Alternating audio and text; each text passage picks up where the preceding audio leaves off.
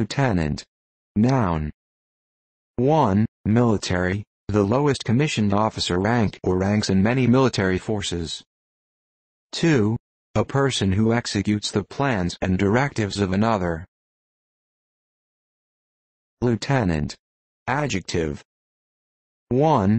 A military grade that is junior to the grade the adjective modifies.